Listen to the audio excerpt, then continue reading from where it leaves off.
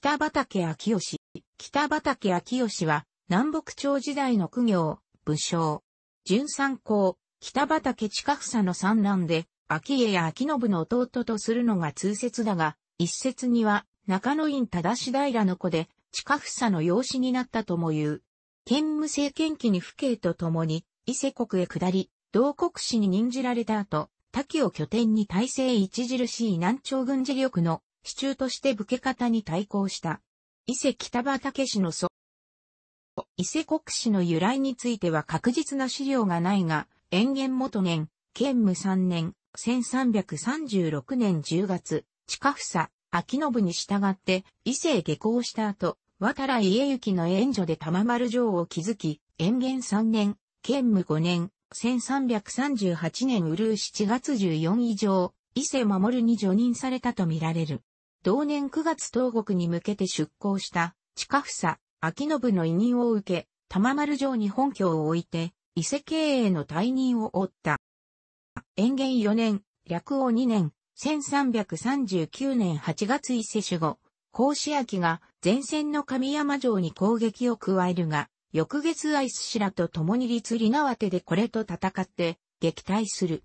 広告2年、略王4年、1341年、佐々木隆氏の協力を得た千秋が攻撃を再開すると、加藤貞有らが奮闘して防戦に努めたが、翌広告3年、光栄元年、1342年7月さらに2期、吉永も市焼に加勢したため、南軍の戦況は次第に不利となり、8月玉丸城などの諸城が陥落。間もなく、秋吉は、一主軍滝の地へ退去のやむなきに至った。昌平2年、城和3年、1347年秋には、河内の楠木正幸と連携して、南朝勢の回復を図るも、翌年に正幸が戦死して作戦は失敗に返している。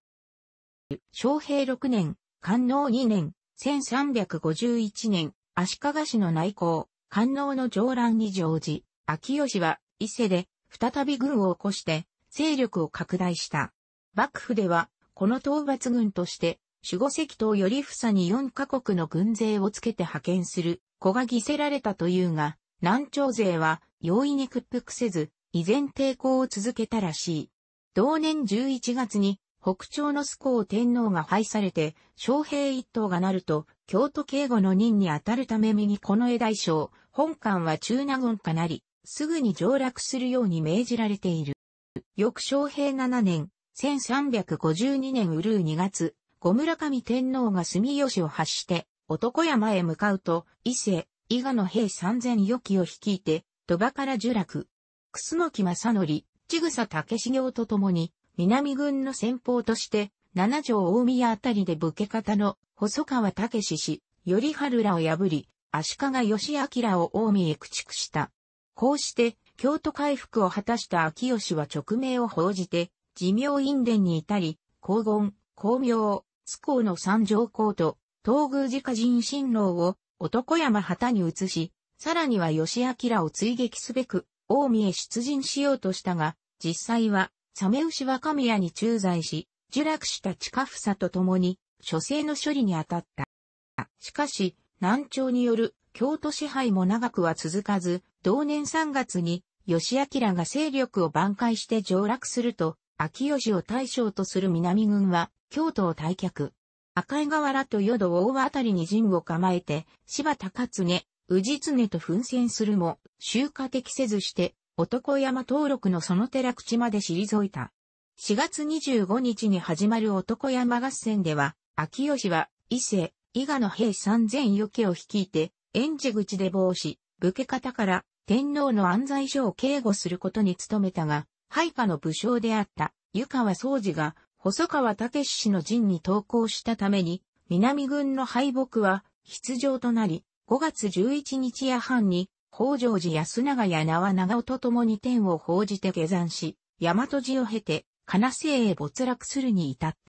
た。その後、滝に帰って兵力を休め、回復の機会を伺っていたことであろう。かくして平成は、またもや盛んとなり、同年10月には、朝霞城に来航した細川、元氏、時頼康らを迎撃。翌昌平8年、文那2年、1353年2月には、伊勢から兵を率いて、大和宇田軍に進出し、その先陣は南都に達したという。同年6月、京都回復の作戦に、秋吉自らは参加していないが、背後には、伊勢の軍事力が関与していたと見てたいかない。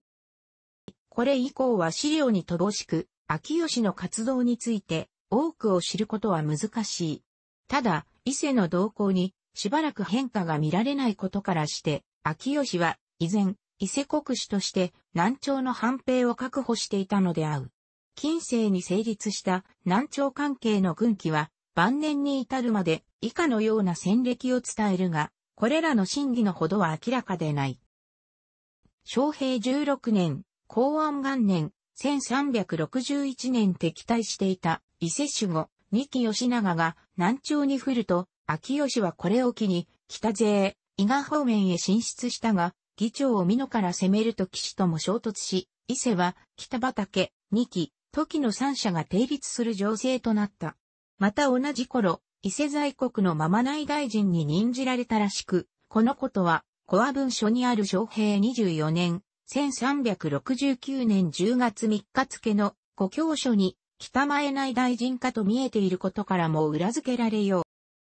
伊勢国史としての活動の終わり身は、南カリーブにある建徳3年、1372年4月5日付の故郷書だが、大運期、南方記伝などによれば、秋吉は、文中元年、1372年11位、右大臣に除任され、天寿2年、1376年次南県隊に国司職を譲ったとされるので、晩年は伊勢経営から引退して吉野に施行していた可能性もある。南朝苦行部人によれば、天寿5年、1379年東宮風となり、翌年出家したとあるが、確実でない。秋吉が皇居したのは、大運期、南方記伝によると、公和3年、永徳3年、1383年7月のことで、ある。その根拠は明らかでないが、同年冬には強硬派の長期天皇から和平派の五亀山天皇への位が行われているので、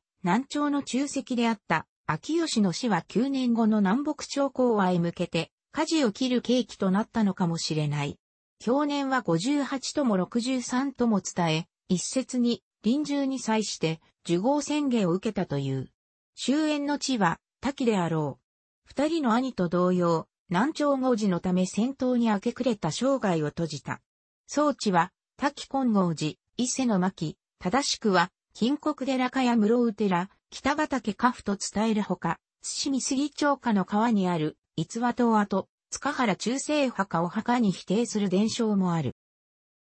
なお、公家らしく、歌人としての一面もあり、新馬和歌集に18種に集した入道前右大臣と秋吉に否定されるのが古来、通説である。すべて大英課題知らずの歌で、歌会に参加した形跡のないことは、秋吉が天皇に禁じせず、長く、変地にあって、反兵を全うしたことを伺わせる。特に、いかにして、伊勢の浜荻吹く、風の収まりに来と四方に知らせむ、雑した1246の一種は広く知られており、秋吉を祀る北畠神社にはその可否がある。また、親族古今和歌集にも読み人淵として一種、日集する。